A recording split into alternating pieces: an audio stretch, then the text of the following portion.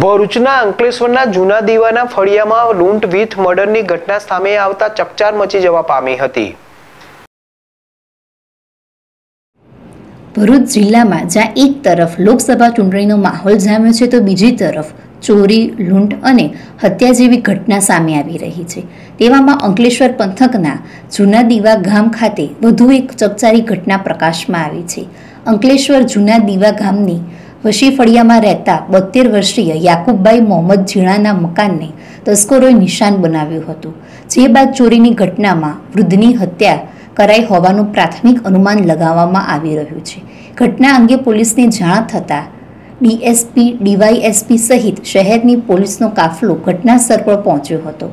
તેમજ પોલીસે dog squad, FSL સહિત નજીકના સીસીટીવી ફૂટેજના આધારે તપાસ આગળ વધારી છે. મહત્વનું છે કે રહસ્યમય સંજોગોમાં વૃદ્ધના મોતથી ગામમાં ચકચાર ફેલાઈ ગઈ છે. હાલ પ્રાથમિક જાણકારી મુજબ, તસ્કરોએ મકાનમાંથી કેટલી મત્તા ઉપર હાથ ફેરો કર્યો છે તે બાબત સ્પષ્ટ થઈ નથી. જોકે પોલીસ વિભાગે અલગ અલગ ટીમો બનાવી મામલા અંગેની વધુ તપાસ હાથ ધરી છે. યાકુબ પટેલ જેડેસ ટીવી ભરૂચ.